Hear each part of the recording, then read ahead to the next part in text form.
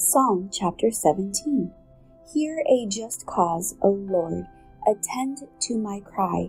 Give ear to my prayer, which is not from deceitful lips. Let my vindication come from your presence. Let your eyes look on the things that are upright. You have tested my heart. You have visited me in the night. You have tired me and found nothing. I have purposed that my mouth shall not transgress concerning the works of men by the word of your lips. I have kept away from the paths of the destroyer.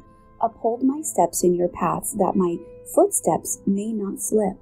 I have called upon you, for you will hear me, O God. Incline your ear to me and hear my speech. Show your marvelous loving kindness by your right hand.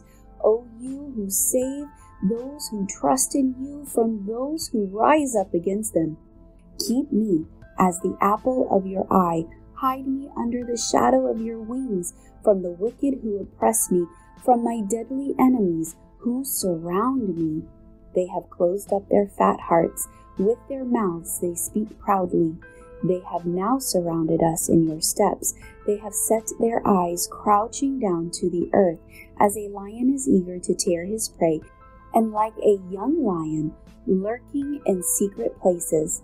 Arise, O Lord, confront him, cast him down, deliver my life from the wicked with your sword, with your hand from men, O Lord, from men of the world who have their portion in this life, and whose belly you fill with your hidden treasure. They are satisfied with children and leave the rest of their possession for their babes. As for me, I will see your face in righteousness. I shall be satisfied when I awake in your likeness.